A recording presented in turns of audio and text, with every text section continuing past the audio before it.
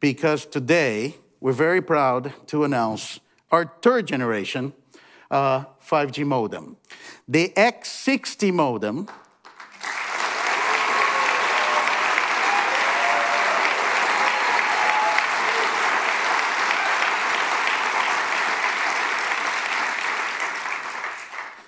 The X60 modem also come with a third generation RF front end, which I'll talk about that today.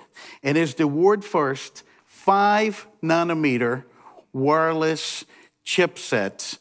It is going to change one more time the deployment of 5G networks, providing full carrier aggregation across millimeter wave and sub 6. I have a lot to tell you about that next and is going to enable all deployment modes across all spectrum, whether it's 4G spectrum, 5G spectrum, or millimeter wave spectrum, including the ability to combine you know, those spectrums.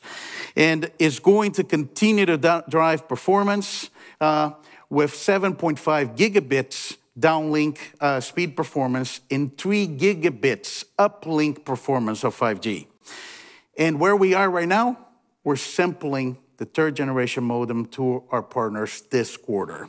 So that's why I think the whole, you know, we're, we're so proud of being the best of the industry with the X55. And at the time we received their award, and we have all those new technologies already sampling our third generation modem in five nanometer.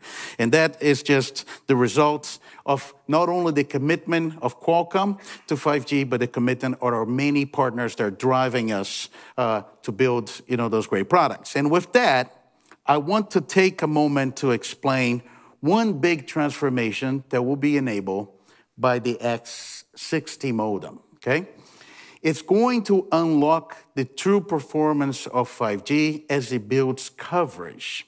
So the way you look at the 5G deployments today, and if you look at this picture, uh, the size, the size and how you know wide is is proportional to the speed, the performance that you get out of 5G network. So you have today the 4G low band, it, it's fascinating for us to, to, to, to design like this because you know we worked so hard in the past few years to bring 5G performance, uh, 4G performance to gigabit speeds. But when you compare to 5G, that's where you see the equivalent performance of 4G in the low band. Then you add the mid band with much wider channels, and then you add millimeter wave, which the widest possible channel and performance. That's where you see some of the rollouts that are being built today. As operators build the sub six and they build millimeter wave. So the next step is the low bands with dynamic spectrum sharing.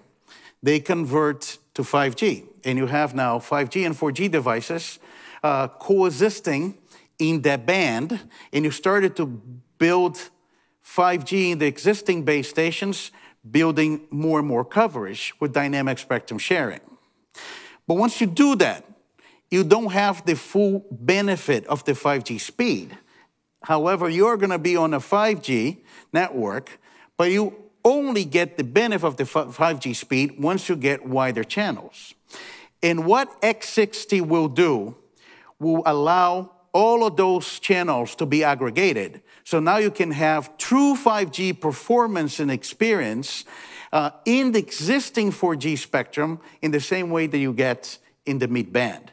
And then beyond that, we start aggregating performance, combining channels of the 5G mid band, the sub 6, and millimeter wave for much higher speed and performance. So the reason the X60 is so significant is now enable operators. They have their 4G spectrum and they're launching service with 5G in that spectrum to build coverage maps to aggregate all of their spectrum holdings and then get channels that could be 100 meg wide or beyond and have true 5G performance in the 4G uh, coverage area. And we're very excited about the potential that unlocks for for 5G deployments. We have worldwide interest from, from the operators, and they will make use of all the existing spectrum holdings and accelerate the build out not only a coverage, but also true 5G performance. Very excited about that and the flexibility of the X60. So we look forward to a lot of X60 designs and, uh, and a lot more you know, coverage and capabilities on 5G networks worldwide.